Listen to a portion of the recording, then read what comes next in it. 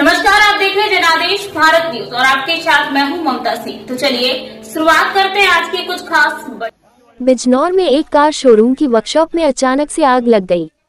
देखते ही देखते आग ने विकराल रूप धारण कर लिया। वर्कशॉप में खड़ी पाँच गाड़ियों को आग ने अपनी चपेट में ले लिया। साथ ही वर्कशॉप में पड़ा स्क्रैप भी जल गया।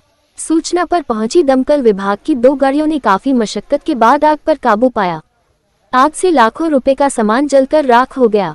दरअसल ये पूरा मामला बिजनौर शहर कोतवाली क्षेत्र के मेरठ रोड स्थित मारुति कंपनी के शाकुंभरी ऑटोमोबाइल का है, जहाँ पर सुबह लगभग आठ बजे शोरूम के पिछले हिस्से में बनी वर्कशॉप में अचानक आग लग गई। देखते ही देखते आग ने कई गाड़ियों को अपनी चपेट में ले लिया और गाड़ियाँ धू धू कर जलने लगी। आग की लपटें ऊँची ऊँची उठने लगी। सूचना पर दमकल विभाग की दो गाड़ियाँ मौके पर पहुँची और काफ़ी मशक्कत के बाद आग पर काबू पाया। लेकिन तब तक पाँच गाड़ी जो वर्कशॉप में सर्विस के लिए आई थी और लाखों रुपए का स्क्रैप व अन्य सामान जल चुका था।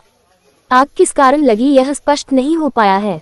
कंपनी के स्टाफ ने मीडिया कर्मियों को अंदर जाने नहीं दिया। इस मामले में सीएफओ अजय कुमार शर्मा ने बताया कि लगभग आठ बजे बाइक सवार ने आकर सूचना दी कि मेरठ रोड स्थित Shakumbhari automobile Maruti showroom की वर्कशॉप में आग लगी है। तत्काल दो फायर टेंडर मौके पर पहुँचे और आग पर काबू पाया। पाँच गाड़ियाँ जली हैं। साथ ही पास में कुछ स्क्रैप था, वह भी जल गया है। आग से कितना नुकसान हुआ है और आग किस वजह से लगी है, इस पूरे मामले की जाँच की जा रही है।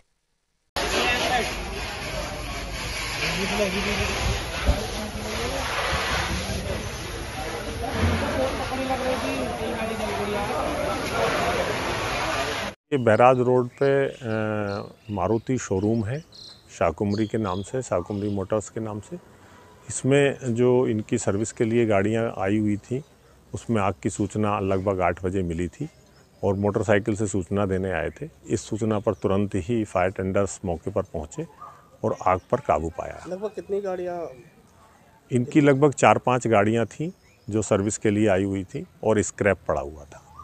ये फायर ब्रिगेड की कितनी गाड़ियाँ फायर सर्विस की दो गाड़ियाँ एक फायर टेंडर एक वाटर मिस्ट मौके पर पहुँची थी।